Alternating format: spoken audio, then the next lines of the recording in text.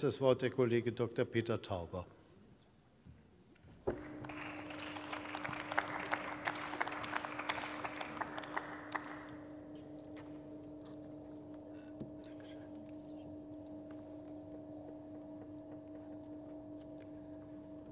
Herr Präsident, meine sehr verehrten Damen, meine Herren, liebe Kolleginnen und Kollegen! Wenn wir über das Thema Kinderrechte sprechen, wenn wir darüber sprechen, wie wir Kinderrechte umfassend stärken wollen, dann ist es ganz gut, so wie es die Kollegin Ruprecht ja auch getan hat, die Probleme in den Blick zu nehmen. Ist aber auch ganz gut, wenn wir uns mal darüber verständigen, was eigentlich alles Gutes geschehen ist in den letzten Jahren. Und Sie haben einen Punkt dankenswerterweise gesagt, nämlich die Rücknahme der Vorbehaltserklärung zu den UN-Kinderrechtskonventionen. Ich glaube, dass das ein ganz starkes und wichtiges Signal war, dass wir als politische Entscheidungsträger die Rechte der Kinder ernst nehmen und dass wir dafür die entsprechenden Rahmenbedingungen schaffen wollen. Sie wissen,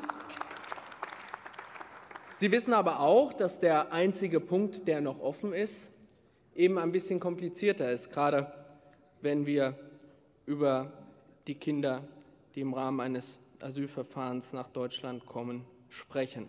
Es beginnt bei der Frage der Feststellung der Identität, wenn sie ohne Papiere einreisen. Man sich auch fragen muss, warum haben sie denn keine? Und es geht weiter in der Frage der verpflichtenden Ausstellung einer Geburtsurkunde. Auch das ist eine Forderung, die erhoben wird, bei der wir eben feststellen müssen, auf welcher Basis stellen wir denn dann eine Geburtsurkunde aus. Also ist alles ein bisschen schwieriger und komplizierter als auf den ersten Blick. Und deswegen rate ich ein bisschen zur Vorsicht, wenn man so frank und frei darüber spricht, weil doch der Eindruck entstehen könnte, als ob da böser Wille staatlichen Handelns dahinter steht. Das, glaube ich, ist nicht so und das kann man zurückweisen. Nicht nur deshalb, weil ja auch Sie in der Vergangenheit das entsprechend selber so bewertet haben, wenn ich das richtig weiß. Denn wir diskutieren das Thema ja nicht erst seit gestern. Es gab wechselnde politische Mehrheiten in der Frage, warum und ob die Vorbehalts Erklärung überhaupt zurückgenommen werden kann. Und noch 2007, da waren, glaube ich, Sozialdemokraten in der Bundesregierung vertreten, herrschte politische Einigkeit, dass man die ausländerrechtliche Altersgrenze unangetastet lassen wollte. Also insofern warne ich ein bisschen vor zu sehr Schwarzmalerei, weil ein völlig falsches Bild entsteht. Natürlich liegen uns die Rechte der Kinder, die zu uns kommen, am Herzen. Wenn wir jetzt darüber reden, was können wir denn tun, um die Rechte von Kindern umzusetzen und zu gewährleisten, dann gehört es auch zur Wahrheit, dass wir feststellen müssen, das liegt nicht allein in unserer Hand. Das entscheiden wir nicht alleine als Deutscher Bundestag, sondern es ist eine gesamtgesellschaftliche Aufgabe, bei der eben auch andere Ebenen beteiligt sind. Wenn Sie die Forderungen aufgreifen nach einem Religionsunterricht, zum Beispiel auch für muslimische Kinder, dann ist das eine Aufgabe, der sich die Länder stellen müssen. Das Gleiche gilt für die Vermittlung von Medienkompetenz. Auch dort sind die Länder in den Bildungsplanungen gefragt. Und auch ein Thema, was immer wieder genannt wird, ist das Thema Beteiligungsrechte.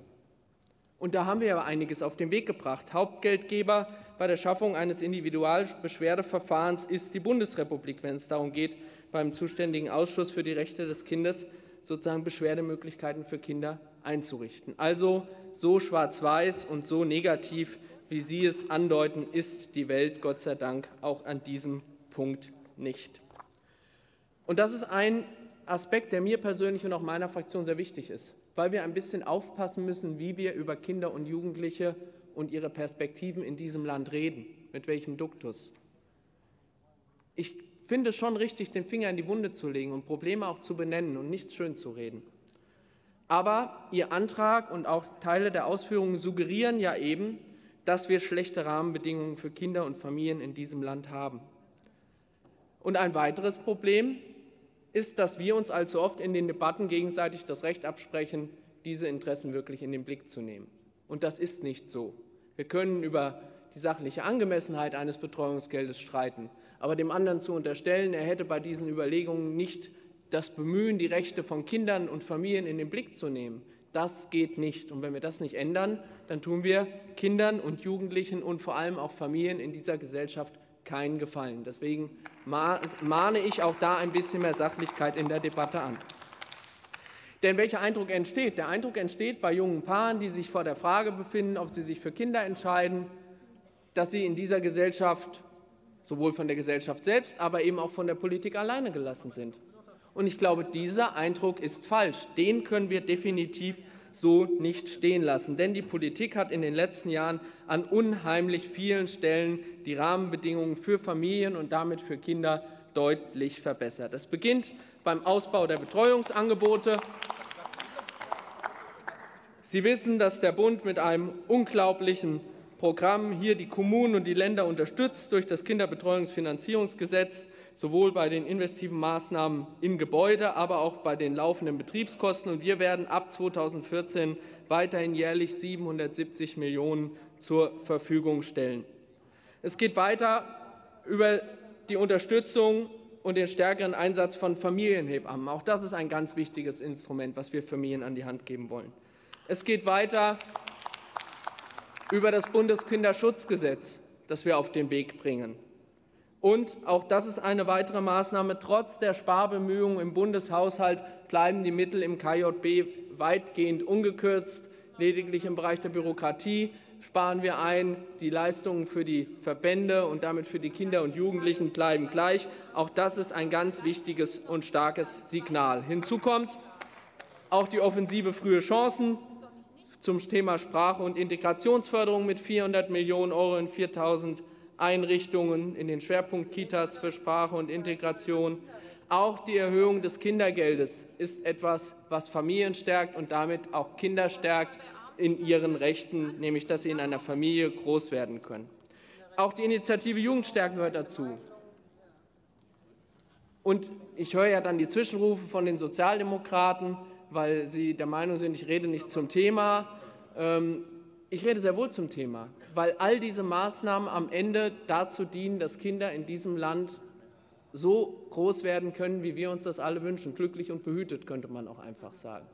Und diese Maßnahmen helfen dazu und deswegen gehören sie auch in diese Rede. Ich kann das Bildungspaket erwähnen, das Kindern und Jugendlichen Teilhabe ermöglichen soll in unserer Gesellschaft. Wir können darüber reden, dass wir Kindern auch den Zugang zur digitalen Welt ermöglichen. Die Enquete-Kommission unter der Leitung von Thomas Jarzombeck in der, Medien, in der Projektgruppe Medienkompetenz hat dazu einen wunderbaren Vorschlag gemacht, um alle Kinder unabhängig ihrer sozialen Herkunft ähm, digitale Kompetenzen zu vermitteln, indem jeder Schüler künftig einen Laptop zur Verfügung gestellt haben soll. Wir versuchen, die Menschen, die mit jungen Menschen umgehen, fit zu machen, zu qualifizieren und auszubilden durch die Frühausbildung frühpädagogischer Fachkräfte und auch die Medienqualifizierung von Erzieherinnen und Erziehern im Netzwerk Frühkindliche Bildung mit dem wunderbaren Namen Biber. Und am Ende kann man auch das Elterngeld noch nennen. Das es eben ermöglicht, dass Familie in diesem Land ganz anders gelebt werden kann, dass Väter ihrer Verantwortung stärker gerecht werden können. Auch darauf haben Kinder letztendlich ein Recht. Und man kann natürlich den Punkt noch nennen, dass wir der Auffassung sind, dass Kinderlärm keine Belästigung ist, sondern Kinderlärm ist Zukunftsmusik. Und auch das muss man einmal deutlich sagen. Und es gehört dazu, wenn wir über Kinderrechte in dieser Gesellschaft reden. Jetzt habe ich eine Menge von politischen Maßnahmen aufgelistet. Ich persönlich bin der festen Überzeugung, wenn wir über Kinderrechte reden, dann geht es in allererster Linie darum, dass Kinder ein Anrecht haben auf Liebe und Fürsorge. Wie es der Heilige Vater gestern gesagt hat, auf ein hörendes Herz.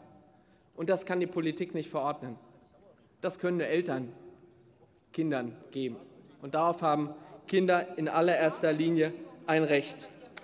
Und deswegen gehört es an der Stelle auch dazu, und das ist mir zum Schluss noch einmal wichtig, festzustellen, in diesem Land haben Kinder trotz vieler Probleme alle Chancen.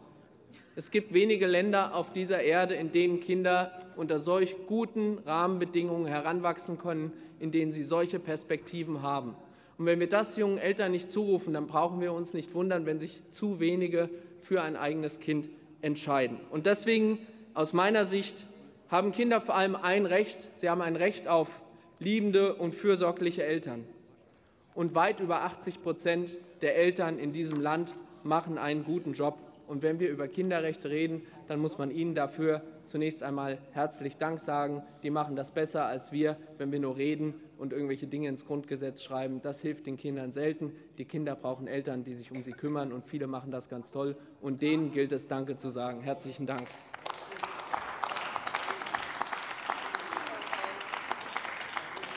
Das Wort hat jetzt